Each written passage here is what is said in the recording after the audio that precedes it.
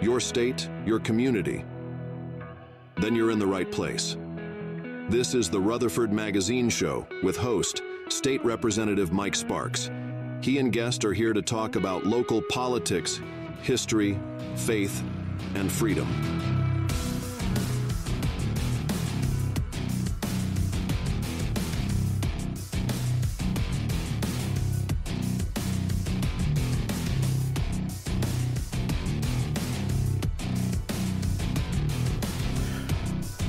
All right, you listen to Rutherford Magazine Show. Your host, Mike Sparks. Well, I had a guest lined up and great guy. He got a little busy. Josh Moss, I think you may call in with um, affordable heating and cooling. Josh and I have been talking about him coming up for for many months, and um, he's an entrepreneur with his Central Heat and Air Company and doing great. And um, gotten a lot of calls uh, he has with um, with his uh, company with folks. I guess getting a little warm, you know, with um, with this weather. Jackson, how you doing? I'm doing good. Did I got um, I bought this phone from you Yeah, last did. year. This iPhone uh, SE. S, it's the third generation Yeah. SE. And Yeah. um, well, my Android. I'm so used to my Android. It it it went at just shut down on me Friday. So I went over at T-Mobile. Been with T-Mobile for many years, and uh, over at Smyrna T-Mobile, Cuban lady helped me, and uh, another young African American, Gregory. Uh, I wish I remember the Cuban girl's name. Really sweet. Really helped me change it. But I'm not used to using this phone, man. It um. I had that when I jumped So you- from Androids to iPhones. There so was you a got an, period you of got an iPhone. Yes, sir. Which one do you have? Uh, just an 11. I, 11? I, I'm- I'm a few generations behind. I'm uh, I'm a college student, so I got to save money where I can. I can't be making the generational. Well, leaps. this this phone belonged to your mother, your late mother, didn't it? Uh, yes, sir. Yeah, your mom passed what two years ago. Yes, sir. Yeah, how Two you years taking ago, that? Uh, this month. how you been doing? You know, it did. Uh, Got to be. you just gotta kind of move on. And you were 22 when she passed. yes, sir. Yeah, you know, I lost my mom a year and three, four months ago, and my mother was ready to go. She was 91, strong Christian believer, and um, you know, as you've heard me say probably 10 times, I was playing Amazing Grace. You know, music therapy is an issue I've tried to take on and bring awareness to, and and um, and it it worked. I mean, she calmed down, but I just got word that one of our a lady who her and her husband used to literally take me to church when I was a little boy, um, where Nissan is used to be called Calvary Baptist Church over there, and uh, Linda uh, Linda Wilson passed away, and uh, folks may know their her, their daughters, um, Dana Wilson and um, Donna Wilson, and and uh, well, Donna's married. Uh, I can't think of her name currently, but um, uh, her, her Earl Wilson went to, went to Parkway Baptist Church for many years with me, and a friend of mine was just telling me, boy, I tell you, I couldn't imagine. I mean, if I lost my mother at your age, I'd have been a basket case man. Yeah, it's uh, you know, And where's your where's your father live? my father lives down by the coast, Oh, really? so he moved down there. So you, It, it's a, it's it's a complicated situation. yeah, I ain't trying to put you on the spot live no, on the radio. You know? They they just got divorced, and my dad just didn't want to be around her Yeah. personally anymore, so he kind of Really? it out of there.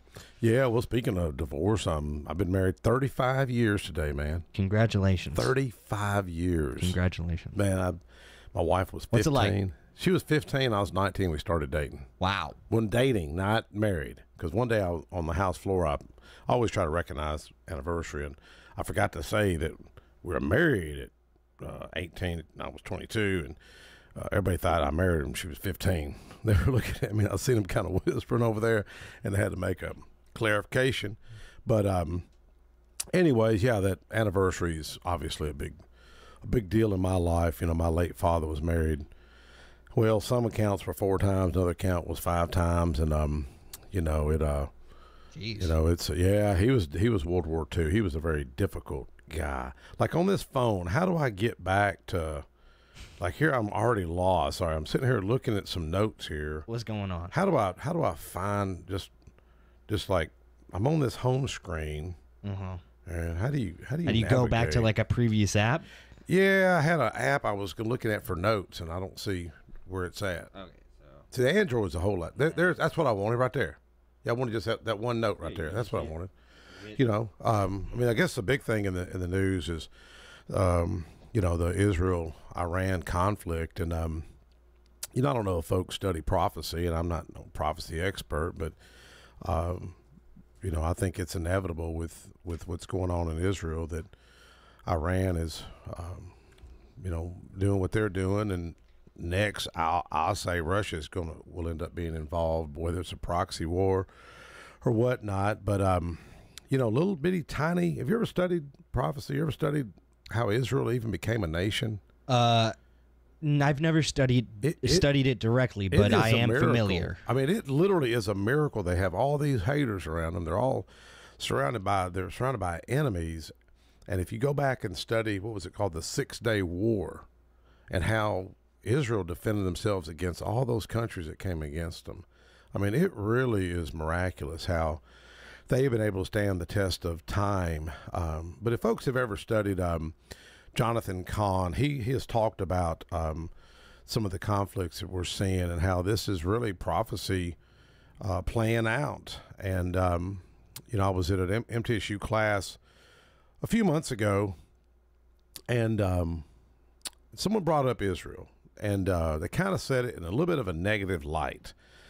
And my professor looked over at me. Remember, we're live in the class, and he said, Sparks, what's your thoughts? I said, Well, you know, the Jewish people have been the most persecuted people on the face of the earth. Six million Jews were annihilated during World War II, and, uh, you know, they've suffered a lot of persecution over it. For them to be a nation is a miracle in itself, which is part of prophecy.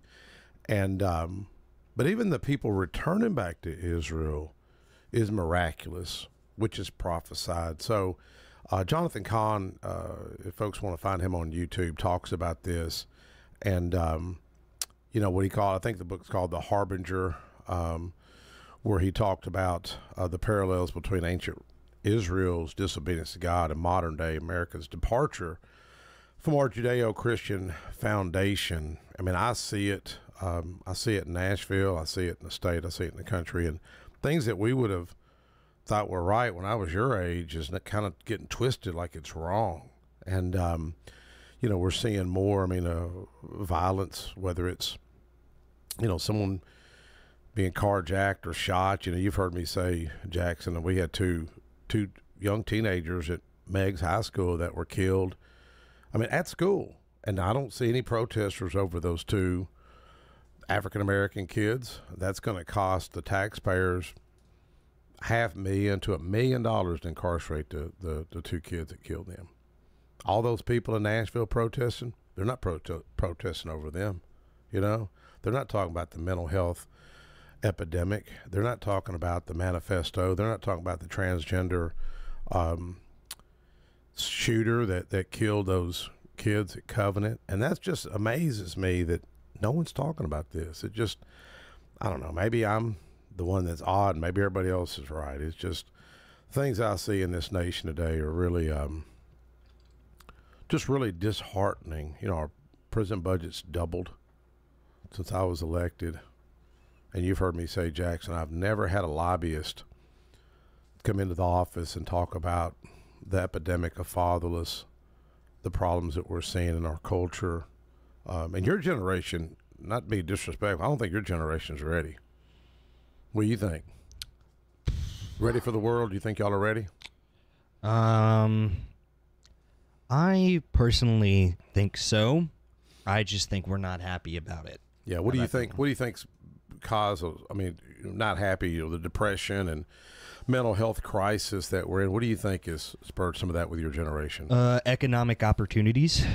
Uh, it's really far. It's can be really really hard to find a decent paying job that can get people by and have them live comfortably. Comfortably, yeah, I have to work two jobs just to meet rent on my apartment, yeah. and I live with three other people. Wow. How many? How many? Two bedroom, three bedroom? That's a three bedroom. Yeah, So I, and when I have to work two jobs to make ends meet, yeah, and when the people, all the people I know, have to either need financial support from their parents or need to work extra jobs, Yes. it it creates a very tense environment where in general people are not enthusiastic or optimistic about their Yeah. futures. I, I, I can see your point. You know, um, there is a you know, look at the cost of housing, cost of rent, and um, really is challenging um, with your with your generation. I mean, the average home today, what is three 500 about four hundred, I think, in this 400. area, four twenty.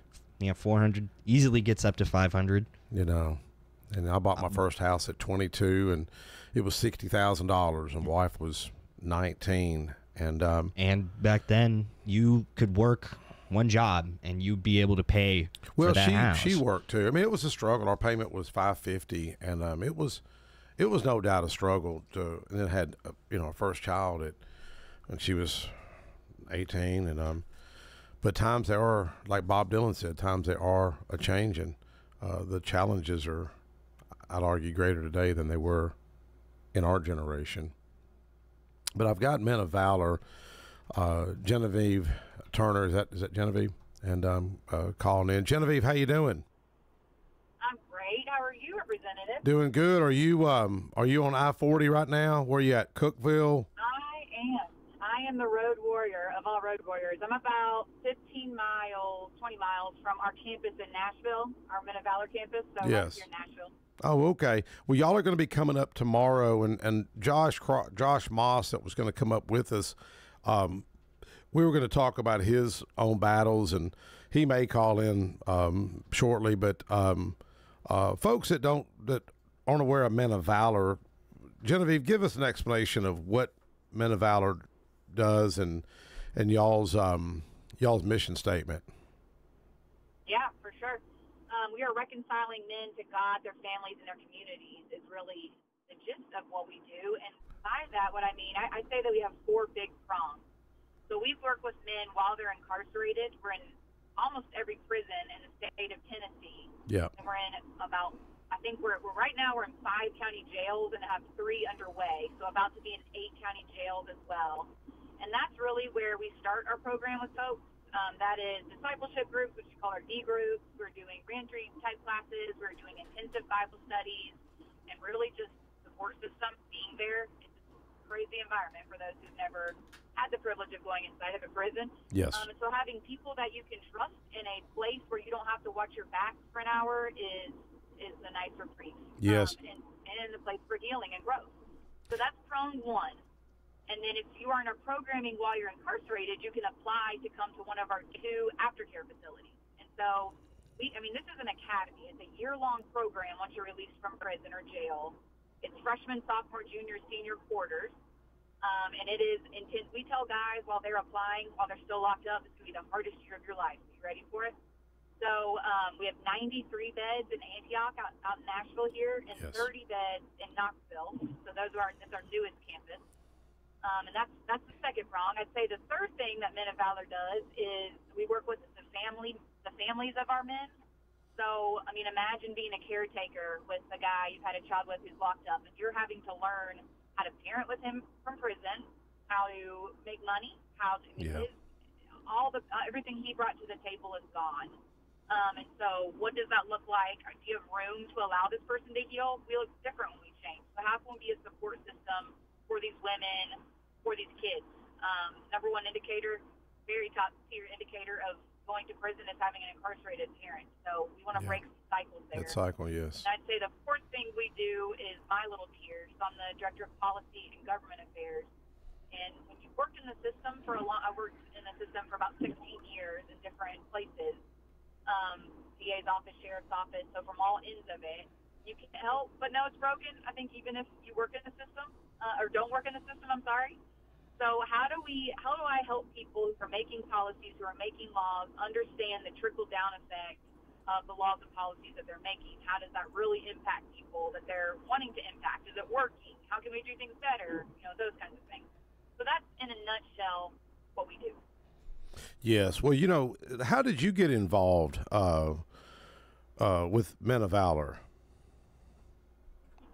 Yeah, a lot of people ask that. I like to say I'm their woman of valor because there really are very few of us on staff. Um, but So I started, like I said, about 16 years ago. My my first job out of college was in felony sessions court as a victim witness coordinator. So I grew up in, you know, the nice part of town. I was a debutante, so I didn't know going in at 22 to felony sessions court um, was a big eye opener. I mean, that that changed my entire paradigm. I had to underlearn that people didn't grow up like I did. And I knew that people had trauma or parents were divorced, but I didn't understand the extent of what so many of my neighbors went through. I mean, I, I it- it's sad. So when I went to college, when I left Knoxville for a while, I didn't even know we had government housing. So I was very far removed. So that opened my eyes to what cycles can do of trauma, what, um, you know, terrible things that happen to people in their lives. How can that impact and affect us in ways that we don't even know? So I continued working in it, and um, for 16 years, I've really been studying the system. I went to this jail. It was in Ireland, and they had changed it into this museum to learn about rehabilitative practices in incarceration.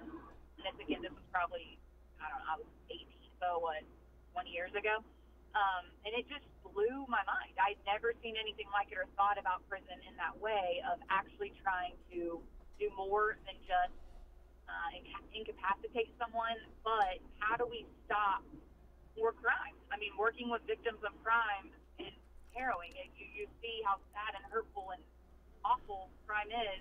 So how do we actually prevent it Yes. um, and rehabilitate people when they're locked up? So that's that's been my mission, and Men of Valor was kind enough to take a chance on picking me up. Yes. Well, you know, um, you know, it, it's on on this show. I've talked about, you know, there's there's a lot of lobbying in Nashville, lobbying legislature, and and uh, I've never, other than y'all, uh, I've never had anybody come come to the office and say, "Man, we've got to turn this around. Man, we've got to get more positive male role models involved in the youth." And you know, it frustrates me because I do see a, I do see a little element of folks that will want to like str- like strengthen laws like okay we're going to take this misdemeanor and turn it into a felony and i'm thinking you know that that's in my opinion that doesn't move the needle to prevent crime and um unless i'm wrong somebody's welcome to, to correct me but um you know a lot of folks don't realize we incarcerate more people in this nation than any country on the face of the earth. And i'm looking at some data here Yeah. which is a, it's a 500% increase the last 40 years 500% increase. I know it's doubled since i was elected in 2010 it went from 600 million to 1.2 billion dollars is what we're paying as taxpayers and some people need to be locked up. There's no doubt they need to be locked up. But it seems like if we could spend more effort to try to reach people before they make dumb decisions and land them you know end up being incarcerated. And so much of it as you know has to do with with addiction and um and, and the mental health problems that we see today. Yeah, I mean, here's a stat, Mike. So the U.S. has five percent of the entire world's population, right? yes Five percent we make it up. However, we incarcerate about twenty-five percent of the incarcerated people in the whole world. Wow. America twenty-five percent. man that's crazy And so, if it was working just to lock people up, we would be the safest country in the world, and we know that's not true. So that I mean, I think you're right on when we look at what are we passing. Make this a misdemeanor into an e-felon. Like, what what does all that really do? If we're still not being preventative, are we actually caring about stopping this problem and working on public safety? Or what? You know, what's the rhetoric? Why are we using the rhetoric? Yes. Well, I know the uh, a friend of mine ran the Rutherford County Jail, Bernard Solandi, great guy. Do you know Bernard, by the way? Do you know him?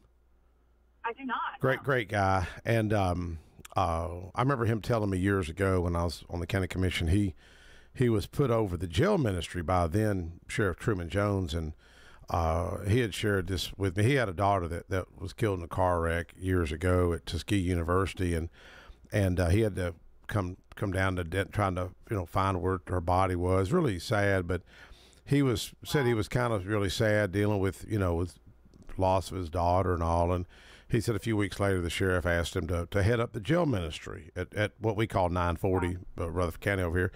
And um, he thought, you know, I'm not out here talking about scripture. I'm not here holding the Bible all the time or nothing. And he thought, you know, there's about 900 people roughly, 850 guys up there, and then he kind of thought, you know what, you know, maybe I can help these guys. And uh, but I used to ask him, I said, man, what is the silver bullet? Because you know, there's you know, there's just so much that we can do to try to improve people's lives, and he he said it was the gospel, man. He says, I'm telling you, so I've seen people's lives change. I've seen people act better, and um, you know, I've often said that that program costs the taxpayers nothing. You know, I know one guy with, with Teen Challenge. I don't know if you know Gene Garcia. He was on the air with me a couple of years ago, and he was on heroin, strung out, living. I mean, I think he was like living literally out in the woods. I don't even know what city he was in, but he um he shared with me he seen a truck or something like a box truck, and it said Hope on it, H O P E, and he said, "Man, that's what I need. I need some hope." And he said he just prayed and for for a healing, and he says, "Man, just something come over me." He says, and he had no urge to use heroin again. I know it sounds odd, but I'm thinking, man, if that program works and costs the taxpayers nothing, why don't we promote it and share it? I mean, even an atheist, I would think, would agree with that. And there's a program. So Florida, for instance, their Department of Correction does something called Faith and Character. So it's either a Faith and Character pod, or they've moved to some entire prisons that are faith and character institutions. Or the whole, that's what they're all about. Yeah. So you can, I mean, obvi- yes, I believe, and that's how my life was changed was through Jesus. But this is open to agnostic, to atheist, to whoever. And so it's all about um, your insides. It's all about emotional intelligence. Yes. Asking yourself the big question. You know, it's very incentivized to be there. They don't have in Florida. You're not paid as an inmate whenever you do your job, and so there's a lot of different kind of incentives. So these prisons have like a two-inch thicker mattress, which you wouldn't believe how much that matters for Yeah. people locked up. But the point of this is that they were like, oh, we're piloting these. We had some pods. Are they working? They had this big hurricane where they had to clear out some of the prisons so that they could get the inmates somewhere safer. They're getting hit by a hurricane. And at these faith and character pods, they found zero contraband, none, zero.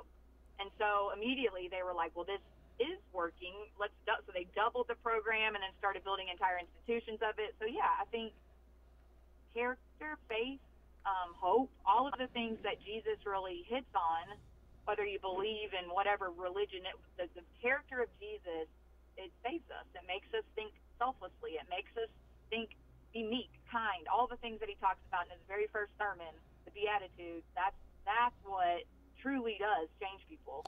Well, you know- I think just some human dignity. You know. Yes, you know, you had um at y'all's event was that last Tuesday the y'all's big event at um at Music City Center. Yes, we had 1,700 people come out to our our biggest fundraiser is our breakfast. So yeah, Yeah, it was uh, well attended. The governor was there. Appreciate. And I, I was glad to see Mayor Glenn Jacobs, the Knoxville County Mayor, there. Oh, he's been amazing. Like he came. I don't think he'd mind if I told this story, but when we were starting to open up in Knoxville, he sent he came and his staff under the radar by themselves, no news team, wasn't on their Facebook, nothing, and came and put together furniture for us. Like, Wow. I mean, he is. He was on my radio show a couple weeks ago. He is very committed to, as he should, as someone who's leans conservative, to what what do we do about this epidemic when it comes to mass incarceration and mass supervision? What are we doing fiscally with our dollars? you know, Yes. if you want to think about it, nothing nothing about the Jesus standpoint. Amen. Yep. fiscal. I agree. a lot to look at, you know. Yeah, that's what I was telling. Was it you I was talking to, or I was talking to somebody?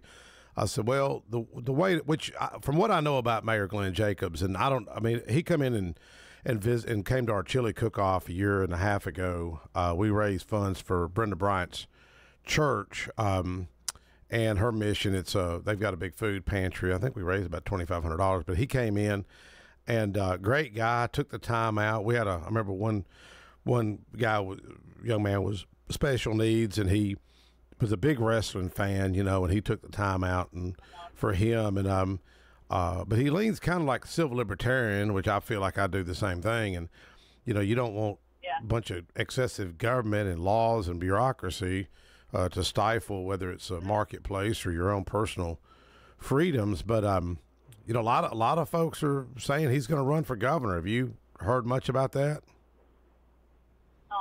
I can't say anything. I don't know. I mean, That's I, what I'm hearing. That's what I've heard. and Anyways, don't mean to I put. would be very happy. I would be very happy because I think that from what I can tell and seeing him, you know, what he's done for Knoxville, which is where I live, Yeah. um, what he's done for our, our county planning, we've had, you know, huge uptick in lack of housing, all kinds of things. We're like a little bit behind Nashville. Everything that y'all go through, we go through a little bit later. Um, but he's done huge for that. Um, we've had terrible homelessness uprising. He's really working on that. He's got character. You know, he thinks through things, and so I was I was impressed when I got to have a more uh, in-depth conversation with him. But that's all I know. Yeah, and if folks don't know who Mayor I'm no fun. I don't have the dirt. what's that? Yeah. Say again. Say again. I said, I'm no fun. I don't have the dirt. I'm no fun. The uh, well, he seems like he's the the real deal, and um, uh, if folks don't know who we're who we're talking about, um, he was the. I'm gonna give you some of his bio. Kane, the wrestler, Glenn Thomas Jacobs, born in April 26, 1967. Um, and uh, American politician. And he, I guess he was signed to WWE in 1995. Was inducted into the 2021 class of WWE Hall of Fame. 2018 was elected the Republican mayor of Knox County. In 2022, won his second term as mayor. Um, and I was talking about him. I don't follow wrestling, you know, but um, I think there was, I guess, the little narrative that he's, um, is it brother-in-law to, um, to one of the other wrestlers? Yeah, what, Yes, the Undertaker. the Undertaker, and and I mean, I I thought it was like for real, and um, somebody's like, no, no, that's not that's not really his. Is it nephew or cousin or something? Yeah, it's not. They're not even related. Okay. Yeah, Somebody those was the parts they played. Yeah. someone was correcting me, like, no, man, that's not it's not really his brother-in-law or Oh, nephew, yeah. you know.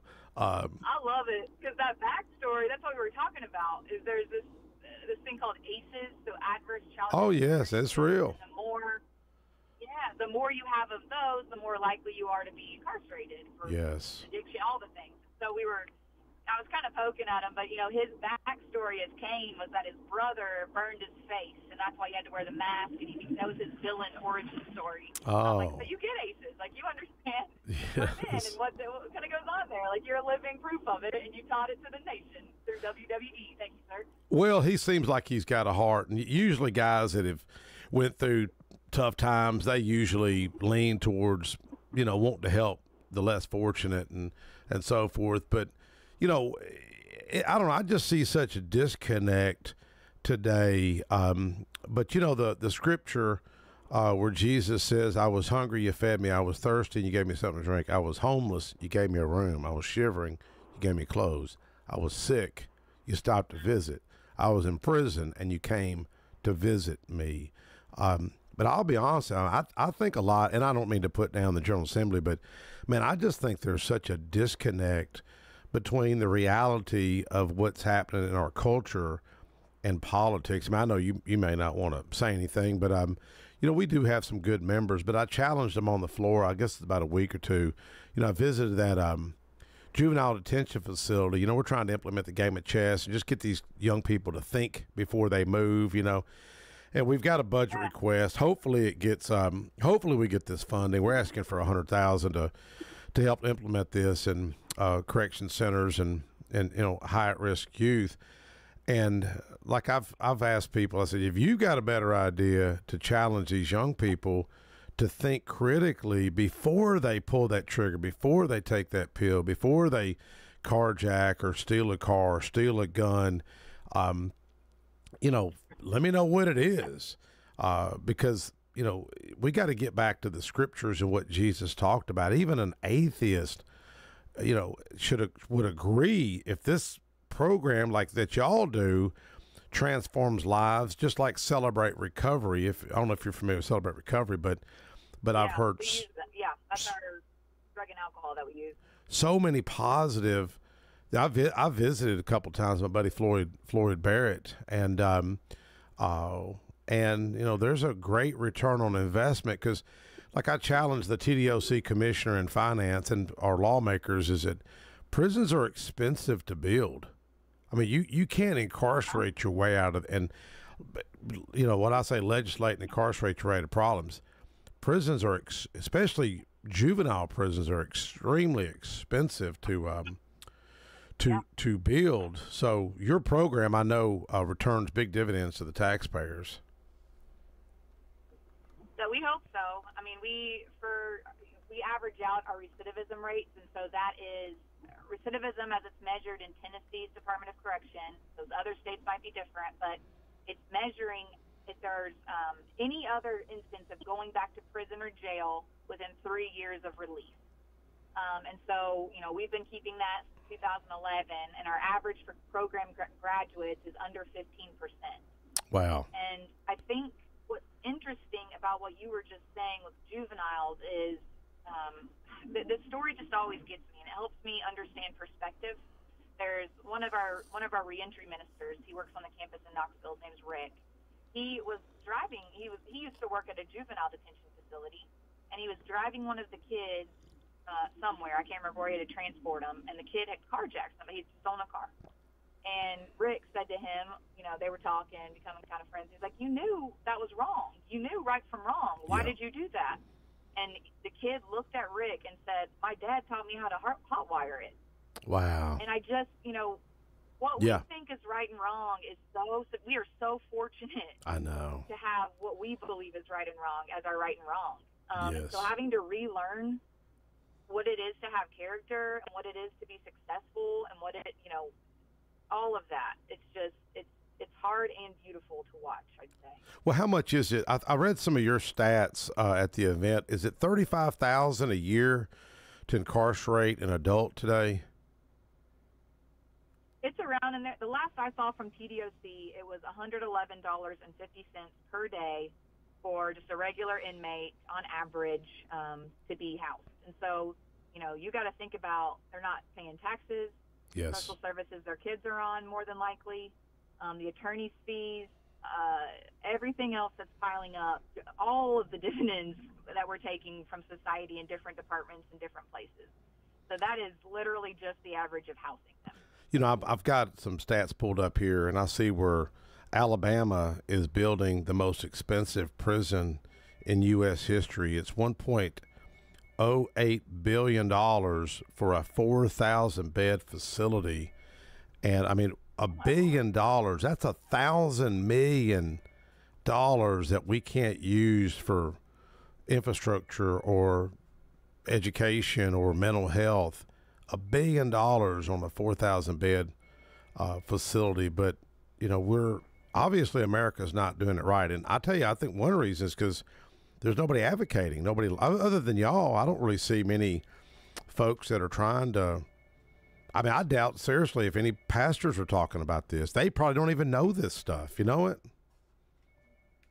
It's tough. It's tough because it's one of those. You know, it's not an easy one to win. It. it I, I came from a place of working with victims, and I've had you know people very close to me with terrible stories that have happened to them. And so sometimes I, I feel like when I try to talk about what might actually work in stopping and preventing crime. Yep. It sounds like I'm being, I, I'm not, I'm callous towards victims of crime. That I'm just trying to, I've, I've been told that I like to hug a thug. yeah. Um, and so, you know, I have to weigh that with how it feels for people. But I also know, working with victims, that there was never healing for them.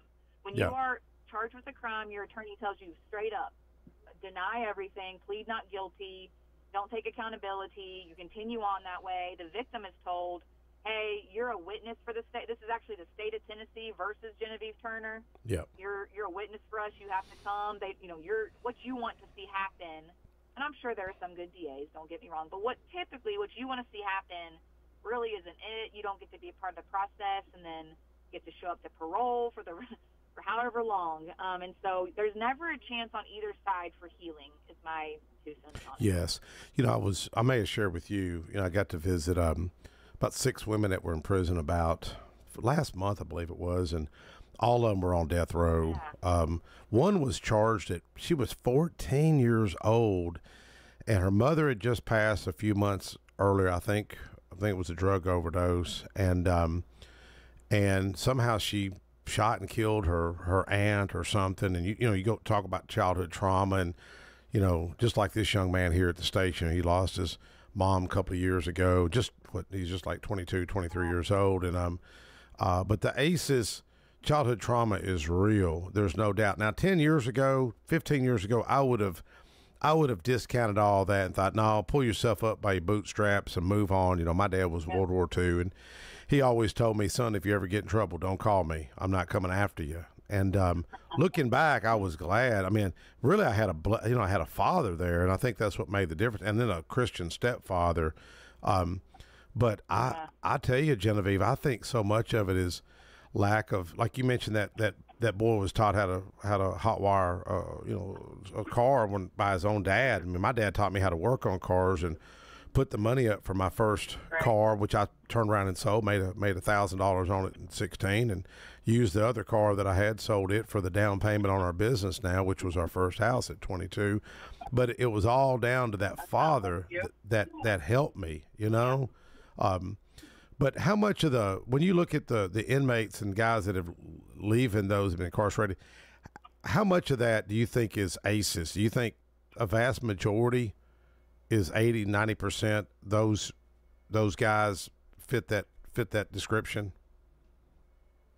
for sure. I mean, at least there's, you know, I, I can't speak for the entire prison population, but I can talk about my guys. Um, and, you know, we have about 2,500 that we serve um, who are locked up, and we've got probably 250 will come through our campus this year. Um, but, you know, you talked about, yeah, pull yourself up by your bootstraps, and sometimes we forget that some people don't even have boots. Yes. Um, and so I, we do a little, one of our staff members is a PhD level academic. He's wonderful. He goes into the prisons and teaches on trauma and ACEs and on neuroplasticity, that you're not stuck. You haven't fried your brain like that old commercial, you know, this is your brain, this is your brain on drugs, that's Yeah. the skillet. That doesn't have to be your life. Like you can create new neural pathways and change. Yeah. But part of that is we do a little survey as to ACEs um, in one of our counseling classes. And I mean, I, have never seen anyone with under six ACEs. I, Yeah. Most people tend to have 10 out of 10. And these are the some of the worst things that can happen to you. You know, Yeah. physical, sexual, verbal abuse, um, divorce of your parents, all- you know, a family member and out of incarceration. So these are tough things that have happened while your brain is still developing. What do you think most the of members of my party, Republican Party, do you think they they get this, they understand, or do you think there is uh, folks that don't care, or folks that just like, hey, it's not my problem, I'm just moving on. You know, uh, do, do you think the pen, the pendulum, the the needle is is moving towards trying to help really the least of these? Do you see that? Do you feel that in the Tennessee General Assembly? It's a good question. Um, And I know I'm putting you on the spot. a I'm, I'm. No, I, uh, you know, Governor Lee came in so strong in his first term with second chances, with criminal justice reform. He's been a huge advocate for us. He was um, a mentor for a man about Yes. 20 years ago. That's how long he's been Yes. in of valor. So he he gets it. He understands the entirety of this, just like zooming out and looking at all of it as opposed to just an individual and their choices. Um, so I think when he ca- there was an awesome tide, it felt like, of okay, how do we think about crime? How do we think about prevention? Mhm. And I have felt a little bit of a pullback lately. I, I think there's a lot of fear and a lot of um, terrible, terrible crime that has happened in some cities in Tennessee lately. I mean, Yep. terrible crime, murder, that kind of thing. Um, and sometimes we are prone to knee-jerk reactions and, and making laws on one thing that happened. I'm not saying that that person did not matter. I'm not saying their life, you know, is not worthy of an act or a law. I just, um, when you are making laws for the entire state, you have to think about how they're going to impact everything. And so, I've, you know, I've only been doing this two years. I'm not, I'm a registered lobbyist, but I'm not really good at it. I don't think. But I, the conversations I've had last session was really just getting to know people, and this session I feel like people are asking more questions and wanting to know some of the research and like, huh, well, why do you feel that way, as opposed to just, okay. So I, I do think there's some some momentum again, and at least wanting to understand. At least like I had an awesome conversation with somebody that went with you to go see those women, and you know he was really challenging me about what does what I don't care if they're serving 50 years. Shouldn't that be what the victim isn't that right Yeah. for them? And Yeah. so we were just kind of talking through the nuance of it all, and Yeah. that gives me a lot of hope. When people want to talk about nuance, I get a lot of hope. Yeah, and and you're. I mean, I, I don't think you're talking about Ed Butler. I don't think uh, Ed would mind me mentioning his name. Um, but uh, then then it was Elaine Davis went, and Elaine got choked up. She she broke down, and started crying. But I asked every one of those women. I said, All of our events, I love her. Yeah, she's she's real sweet, and um, uh, but I'd asked all six women, you know, where do you find hope at? H O P E, hope, because everybody's got to have hope, you know, and um, and they said, well, hope with their friends, hope with their family. Remember, they, they're serving what a fifty-one year sentence, and I'm kind of putting my mind in their shoes, like how would I deal with it? You know, they all I think got their degrees except for one, but I asked about sexual abuse. And I said, "How many of y'all were sexually abused? You know, growing up?" And three hands immediately went up. One hand went up slow. So, not that I know much about psychology, but I'm assuming that was a close relative or something. And um, uh, but that's when you, you know that's an issue that you know I took on as a lawmaker that ended the the uh, statute of limitation, go back and prosecute. And that really started up here at this station with uh, Scott uh, Walker asking about that. But once I started studying that issue man, it is like an epidemic of a crime that seems to go unreported, where roughly what 70, 80% of females have been abused, and um, one in six, um, uh, one in six boys, one in four women, one in six boys, and 70% of the crime goes unreported. And it's like a silent epidemic that messes with people's heads.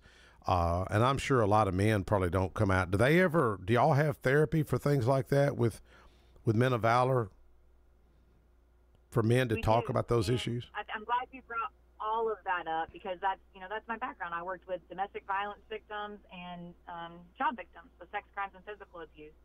And so yeah, I mean the amount that was underreported, the amount that was you know this was before Me Too and all that when I worked there, and Yeah. so it was a lot of well, what were you know the women what were you wearing? What did you do to bring it on? So that, Yeah, that was kind of yeah. the mentality back then. And then I was in the DA's office when it was you know domestic violence was a family problem. Like we don't bring that into the courts. We don't talk about that. That's that's between a husband and a wife. So that's we've come way further in in how we think about those things since then. But yes, we actually just got. We do have four counselors on staff, and we just got money, the opioid abatement grant. Yes. So um, Tennessee got a large portion of money, and we applied for it, and just found out that we got it, and that is all going for counseling. So we are going to be able to move our ratio from 40 to one par- participants to counselors Yep. to 25 to one. Wow. And we're going to be able to be sending therapists inside the prison. Are you gonna- actual LCSWs in the prison? Let me ask you, um, not to play devil's advocate, but are, are you going to be able to find those therapists? I mean, are they? are there- Is there enough therapists out there?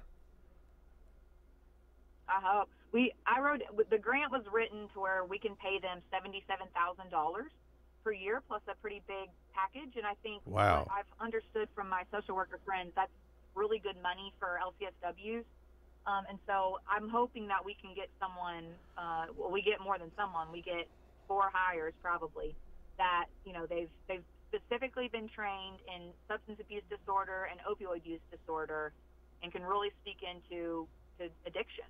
Um, Yes. So I'm hoping if you know anybody, anyone listening wants to work for Men of Valor and is a licensed counselor and loves Jesus, please, please call in. Yes. Well, you know, the um I had something kind of cool happen at y'all's event. I was walking up and I seen Rudy Kalis and um talked to talked to Rudy. In fact, I wanted to get Rudy on the radio, but I had I told him I tried to call him, couldn't reach him, and I had I had the radio station's number phone and I was like, Hey, I knew he looked familiar. Well he was he I knew him from years ago. He was friends with my youngest son and I said, man, I said, I was literally, I was doing a ride along with the sheriff's department with, with Deputy Chris Beach and uh, who's, who's a friend of mine. And, and they were looking for this guy. He was literally running from the law on his motorcycle. And I remember hearing the guy's name and I thought, man, I knew he was just jacked up on some drugs. And, and I mean, he looked, you know, just a handsome young guy, I guess about 32. And the irony, I just went to help his mother, his, his grandmother. In fact, I tore up my car that, that was working on the road, and you see my bumper all damaged on the bottom, it's from that street. And um, she mailed me a nice pocket watch the other day. It was kind of surreal, um, nice little engraved pocket watch as a little thank you. But um, but I said, man, what's turned what what what turned your life around? And you know what his answer was? It was one word. You know what his answer was? God. Nope. You're close. What was it? Jesus. It was Jesus. And and man, he, he looked. I, yeah. And then Hustle Recovery walked up. Troy Sandifer and Kim. Do you know uh, Kim? Oh, what's her last name? Um, they were on the show with me here a while back. You know, I run a license plate for them, so they're going to try to run license plate called End Overdose, uh, and it's going to be a Herculean task. They got to sell a thousand of them. I wanted to be called Hu- Hustle. They didn't. They decided not to do that. Um, but it's called End Overdose. But it was really cool. They got part of that grant, and uh, shout out to Com- County Commissioner Craig Harris that, that's been very involved with that opioid, opioid abatement task force. Um, Genevieve, can you hold if we take a quick break, or do you need to go to your meeting? Okay, hold. We'll, we'll be. No, I'm, I'm good. Thursday. okay, we'll be just a few minutes with a quick break. Thank you. Most people know that their insurance can provide them with coverage for the many life's mishaps. But I can help you also unlock discounts, save money, and get benefits with Farmers Insurance policy perks. Whether we're discussing home or auto insurance, I am here to help you understand these great perks. Call me, Mark Lewis, at 615 625 7070 for a quote, and you can get a whole lot of something with Farmers policy perks. We are farmers. Not available in every state. Only available with select farmers branded policies underwritten by Farmers Truck or Fire Insurance Exchanges or affiliate. Dr. Automotive Auto Repair and Maintenance Mechanic Shop Garage provides car owners in Smyrna, Murfreesboro, La Vergne, and the Middle Tennessee area with excellent auto repair services. Deep rooted experience in serving both foreign and domestic automobiles allows for proper diagnosis in a timely manner. Check them out online at autorepairsmyrna.com, call them at 615 220 0971, or stop on in at 1205 Hazelwood Drive in Smyrna. Hey, Middle Tennessee, it's Mark from the Safe House. And now the security riddle of the day. What's less secure than a fake safe from a big box or furniture store? Joe Biden's fake border policy, of course. But hey, there is good news. This time next year, Joe Biden will not be president. So drop by the Safe House and check out the largest selection of safes in the Southeast. Build a wall around your valuables with a safe from the Safe House. We have certified delivery crews to deliver and install your safe. Don't let a crackhead or illegal deliver your safe. With over 30 years in the safe business, the Safe House is the place to buy a safe in Tennessee. So go to NashvilleSafeHouse.com.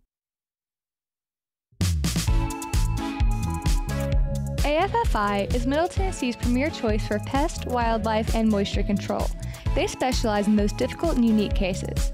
You can reach them by phone at 615 300 2395. That's 615 300 2395. Or stop in at 200 Glenrose Lane in Smyrna.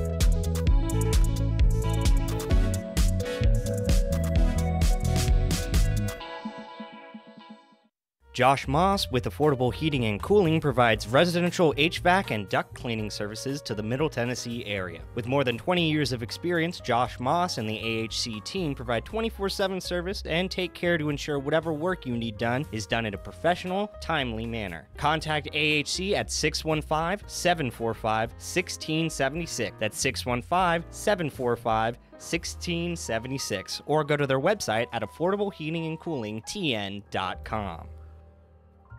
My wife and I enjoy going by Yard Sale Inc. We usually go to both locations, the one in Smyrna as well as the one in Murfreesboro. A lot of times on Saturday mornings we stop by and their inventory changes weekly, so you never know what you're going to see. And it's mostly open box. The name fits it. It's exactly that. It's a yard sale. If you don't totally agree with the price, the staff is always friendly and nice and willing to work with you. That's the Yard Sale Store in Smyrna at 111 Enon Springs Road West in Murfreesboro at 204 South Front Street and online at bestdealintown.com.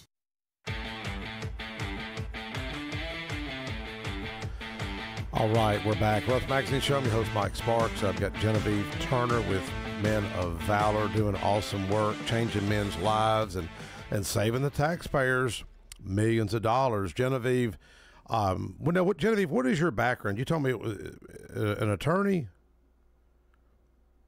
Yeah, don't tell anybody. But yeah, Bless your heart. Civil law. Um, yeah, yeah. So you know, you know Heather, you know Heather Michelle, then, don't you? yeah, we're good friends. Yeah, Heather. Heather and I are, are pretty close. I ruined her voting record. You know, she's she's really well, she's really a big Democrat, and it literally ruined her voting record because she said people brought it up. She's knocking on doors for me, but um, anyway, she's got a good heart uh, for for for people. Um, did I tell you um, my um, know I've got this bill. We were able to pass it this week. It, it hopefully it doesn't get held up in the Senate. It's helping folks get access to mental health care, uh, updating what they call the HERT system, which is the the online portal uh, for the psychiatric beds, and it will show like if someone going to the ER, it'll and then it's mental health. They'll say, okay, we've got a bed over here at Rolling Hills, Trust Point, or another facility. Uh, it passed unanimously. We worked on this for over a year, um, but you know the the seriousness of this is, you know, I was telling the governor, I was trying to get the governor to take this bill up, and the gun safe bill, which was mine last year, and he did take the gun safe bill, which we passed, which would incentivize people to lock up firearms. You know, there's a rash of stolen firearms out there. But uh, Secretary of State and I, Tre Hargett, was at the ER or visiting the uh, Stonecrest Medical Center, and um, the CEO Lou Caputo told us. He said, "Man, our ERs are overrun with mental health issues." He said, "We need some relief." And the strange thing, uh, about a month later, I get asked to carry a bill by some mental health advocates, and that's that would offer relief. I call it a God wink uh, moment. Um, yeah, it's a God moment. It really is. I just say a prayer, you know, that that it pass on the Senate side. Um, uh, but I don't know. I just see so much craziness that's going on in this world. It's, you know, it's it just seems like, you know, the young people, the future they have. It sometimes it does look bleak. Um, the social media, I think, adds fuel to the fire. But um, what what do you hear from men as far as your guys that that you know that that do need hope? But what do you what's the common theme with them that that has turned their their hearts and, and life around? I think you've hit on Jesus. I mean, I think that understanding the who the person of Jesus is and wanting to conform your life to that, that I mean, how can that not transform you? And I think Yes. that another one is these guys. We go. I mean, we give them big hugs when they get on campus. We pick you up at the prison gate, take you, get a meal, and hug on you as soon as you get in. And a lot of them, they're like, I haven't been hugged in years. They, they haven't. They've been living in a prison. They've been told when to eat, what to eat, what to wear, when to get up, who they can talk to, who to stay away from, Yeah. where they're going to work. Um, and so their idea of normalcy and human dignity is completely off. Yeah. And the way I know that is because, um, you know, in prison, they're getting disciplinaries left and right. And at Men of Valor, we take anybody. It's not like we're only taking low level crime. You know, Yeah. these are vi- what would be considered violent offenders. And you know, we've never had a fight on our campus. Really? You know, these guys walk into Are you serious? straight out of prison. You never had a fight Knives there? on the counter. We've never had a fight. There's That's crazy. the counter. Never they've been getting dis- the way that they're treated. I mean, you are your surroundings, and so I think that if we you looking at other countries like Norway, Germany, other places that have this idea of, you know, they'll have a correctional officer sit down, and you have to have an amount of touches with them. So play chess, you know, get to know them, and we're afraid of that in the U.S. Like they encourage people to not do that. To not, they they are Yeah. fearful that you'll be manipulated. Um, but it's just not the case. You know, you- sure, are we going to get games sometimes? Yeah, but to to give someone love and human dignity and that support, it clearly changes who they are. But you know the irony. I mean, think of, think about this. This is some deep psychological stuff going on here. Y'all have never had a fight. You know how many fights we've almost had in the Tennessee General Assembly? I've seen a lot of fights go down. Seriously, yeah. seriously, and um, it, it is. And you know, and we're up there representing our lawmakers, and I can't believe y'all haven't ever had a a, a fight. Um, it's Well, I hadn't really thought about it until a guy at the breakfast, he got up and said, you know, I, I walked into my new apartment, I'm in a Valor campus, and there was knives on the counter, and, and I was like, I know that was funny. they- never. Was that the Hispa- that was that the Latino guy? Yeah, that that he's he's real short. And Yeah. In prison, he's the guy that I only remember that he had the the Gideons brought the Bibles, yeah. and so he couldn't see out the window. He's too short, and he stacked them up, and he said, "I was standing on the word of the Lord." That is cool. What but if you hear that guy's background, and that's what I was challenging my own members. I just said those with courage and conviction to go visit these juveniles, go visit a juvenile correctional center. And I had mentioned when I was at one here about it was a couple of months ago I mean, the barbed wire fence, you know, it's 20, 30 feet high, and and one kid, he he didn't. You could you could tell he didn't want to be there. The others, they were excited because they were getting cupcakes and Chick Fil A and you know and all. And this one kid, I walked over to him and I mentioned the game of chess, and that young man's eyes kind of lit up, and he was about seventeen, and he said, "I don't know how to play chess." Got excited. I said, "You do?" I said, "What do you think about this theory, this hypothesis about learning the game of chess could help critical thinking?" He and he agreed. He thought it could, and and he asked me. He said, um, would, would you will you pray with me?" And that I was really like stunned. He wanted me to pray with him, and um, uh, and he asked me. I felt I felt bad because I haven't I didn't get to go back and see him in time. He I'm assuming he was released because I didn't see him the last time I was there. He wasn't there. Um, but I did bring up this week. Um, I, somebody had a piece of legislation about the um, the Veterans Court, and I got to give a shout out to Judge Ben Hall McFarland Jr. and General Tommy Baker. Um, he was there. He's with Veterans Affairs, and and I seen the general uh, hug inmates. I mean, hug, well, I shouldn't say inmates. Hug people that were graduating, people that were pre- previously incarcerated. And it made me think of my late father. My dad was World War II, spent 20 years, 25 years in the military, and uh, I was told the meanest man in Smyrna. He was just hardcore military and just never got over it. But I never remember my dad ever like putting his arm around me. Hey, son, you know, I'm proud of you, something like that. He just, that just wasn't, well, that wasn't that generation. Right. But, you know, psychologically, there's something there. Yeah. You know, we're used to it with our moms. There's something to touch. Yeah. Well, I get kidded about about Tupac because I quote Tupac a little bit in the chamber. Some people were kidding me about it, but if you listen to, to you, know- you know what I'm talking about, right? Tupac, don't you? Tupac. Okay, all right. But if you listen to his song. Yeah. yeah, dear mama, he he says, you know, that I didn't cry for my my dad's funeral because the man wasn't there. He said I found love in a gang, and young guys are going to find and women love somewhere. Uh, but thankfully, I had a stepfather that was a strong Christian man, uh, so I kind of had you know a strong arm of military. Then my stepdad was a good, strong Church of Christ um, uh, guy, but. Um, but no, I appreciate what y'all y'all do. Now you ready for tomorrow? Because y'all are coming up at two. We got a presentation honoring y'all. Uh, is everybody ready? We're ready. That's why I'm on campus now to talk to our men about it that are coming. They've just, we had a day on the hill uh, about a month ago, and a lot of the men didn't know what to think.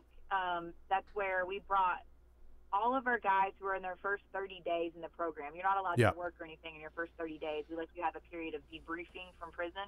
Yeah. Um, and so they came and we set up meetings for them to go into y'all's offices, into legislators' offices.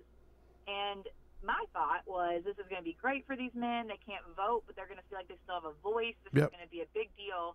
And what I've learned from it is that I think, I mean, as I sat in there and watched the legislators talk to them, I was like, how, this is what changes things. This Amen. Is what makes people have to be interested about Yes. other human beings and be more than a file and more than a case. And I was at dinner with one of my friends. He's a district attorney in Knoxville, a wonderful one. He said that time when someone invited her to a drug, grad, drug court graduation that he had put in prison. He's like, I never get invited to these things. I never Yes. see when they do well. No one ever tells me. So Exactly. Yes. Well, thank you, Genevieve. We're out of time. I'll see you tomorrow. Okay. All right. Thank you, Genevieve Turner with Men of Putting us up there tomorrow, Men of Valor. Take care, folks. We'll talk at you next week for more of the Life Magazine Show.